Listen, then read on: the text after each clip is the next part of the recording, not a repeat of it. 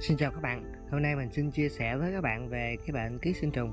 À, Với cái ngoại ký sinh á, thì mình có là một clip hướng dẫn cụ thể. Còn với video này thì mình sẽ nói về nội ký sinh nha các bạn.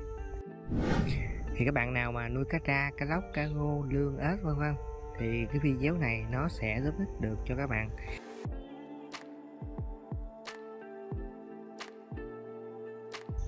Các loại ký sinh trùng khác nhau, ký sinh ở cái bộ phận khác nhau và nó sẽ cho gây cái hậu quả ở mức độ khác nhau nữa. Nhìn chung, nó sẽ làm cho vật nuôi là sinh trưởng chậm nè, thì sức đề kháng giảm và cuối cùng nó sẽ gây ra chết cho cái vật nuôi.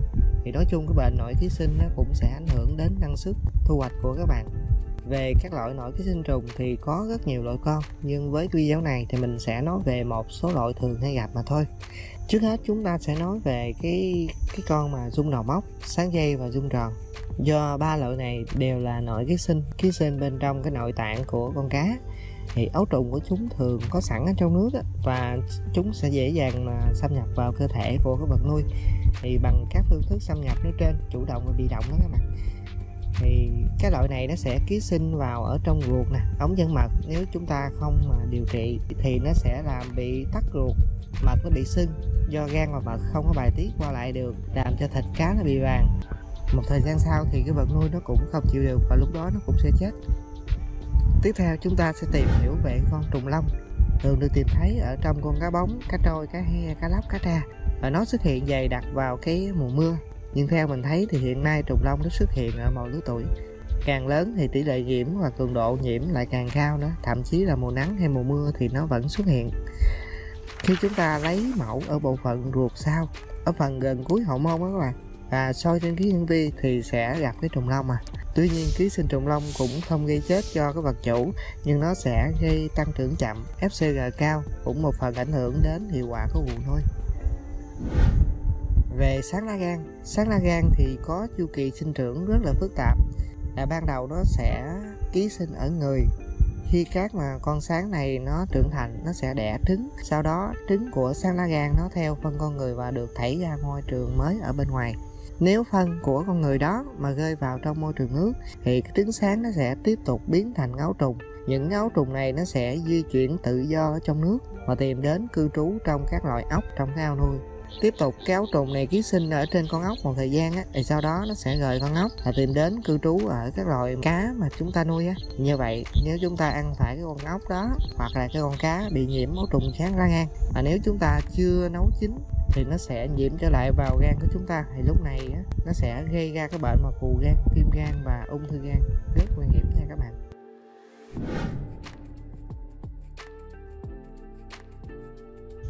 Với các loại ký sinh trùng này thì mình thường thấy ở con cá chép cá trám. Tuy nhiên khi kiểm tra cái mẫu á, thì thấy trên con cá chép hầu như nó nhiễm nhiều hơn trên con cá trám cỏ nha các bạn. Ví dụ ta nhìn thấy theo bảng phân tích á, ở trên con cá chép là tỷ lệ nhiễm của nó là 65,4% còn con cá trám cỏ thì 55,8 à. Có thể là do cái con cá chép nó ăn đáy nhiều hơn nên nó sẽ bị nhiễm cái loại này nhiều hơn còn phương thức gây bệnh của sáng lá song chủ thì nó sẽ cũng tương tự như sáng lá gan á. Thì cũng có vòng đời ký sinh ở trên nóc nè. Rồi sau đó lây ra qua người bằng cái con đường ăn uống chưa nấu chín. Còn cái bệnh gạo, nguyên nhân là do hai cái loài nguyên sinh động vật có khả năng hình thành bào tử khi cá nó bị nhiễm hai cái loại này thì mình thấy hầu như bên ngoài nó rất là bình thường, không phát hiện gì cái bệnh á. Nhưng mà khi mình mổ con cá đó ra thì mình thấy có nhiều cái đốm trắng y như cái hạt gạo nên còn được gọi là cái bệnh gạo. Hiện nay ai mà nuôi cá tra, cá lóc thì sẽ có cơ hội thấy cái cái bệnh gạo này ngoài cái việc mà gây bệnh trên con cá tra thì hai cái bào tử này nó còn gây ra cái bệnh mà sùi bọt cua ở trên con cá tai tượng nữa. Nhưng cái lần này nó sẽ không bám vào cơ thịt của con cá mà nó bám sâu vào ở trong cái cung mang á, vào phần sụn của mang nữa. Nó làm cho con cá không có thể lấy oxy được. Cái mang nó hư đó các bạn. Cái mang nó sẽ bị sùi bọt lên, nên còn gọi là cái bệnh mà sùi bọt cua. Mình cũng xin lưu ý thêm là cái bệnh sùi bọt cua hầu như không có trị được, vì nó là cái bào tử rất là cứng nên các bạn dùng hóa chất cũng không có trị được. Nhưng mà nếu các bạn dùng liều cao ví dụ như là iodine thì cũng có thể diệt được nha. Nhưng trong quá trình đang nuôi như vậy nếu các bạn dùng liều cao sẽ làm cho con cá nó bị stress thì cũng rất là nguy hiểm. Nên cái việc mà bệnh mà xù bò cua ở cá tai tượng thì các bạn chỉ nên phòng ngừa thôi. Cái lúc chưa thả cá các bạn nha dùng hóa chất liều cao á, sẽ diệt được cái tác nhân gây bệnh này. Thì nãy giờ mình nói về một số loại ký xung trùng như vậy nhưng các bạn á, trị cho nó thì cũng có nhiều cái điểm chung nên mình sẽ hướng dẫn các bạn cụ thể như sau. Thì đó là cái quá trình các bạn nuôi cá nuôi lươn nuôi ếch nuôi ba ba thậm chí là cá cảnh. Thì các bạn cứ tẩy dung định kỳ giúp mình thì cứ một tháng các bạn tẩy hai ba lần liên tiếp. Và khoảng 30 ngày sau các bạn cứ làm y như vậy. Còn với con người á con người chúng ta cũng vậy thì 6 tháng mà các bạn tẩy một lần với cái loại thuốc Fugaka còn với cái vật nuôi thủy sản thì cứ 30 ngày các bạn trộn cho nó ăn một lần nha.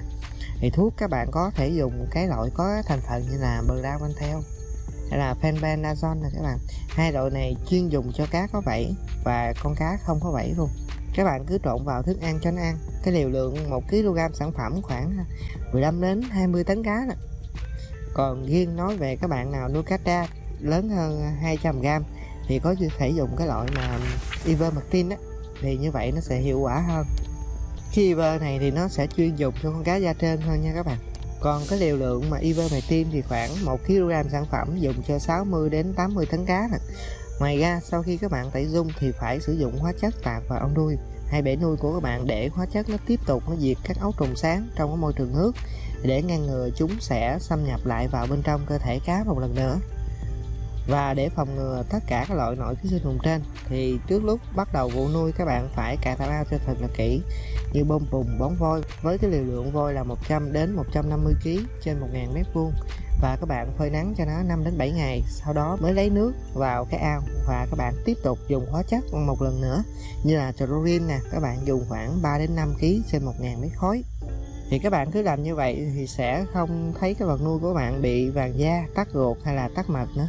Thậm chí là các bạn nào nuôi cá tài tượng thì sẽ không thấy cái bệnh sùi bọt cua. Ở lúc này chúng sẽ ăn nhiều và chống lớn nha các bạn. Video của mình tạm thời đến đây thôi. Thì do đây là một bài tóm tắt về nội ký sinh, nên mình chỉ nói ngắn gọn. Nhưng các bạn mà còn thắc mắc cứ comment để mình giải thích thêm cho các bạn nha. Nông nghiệp tv cảm ơn các bạn và hẹn gặp lại các bạn ở một clip khác.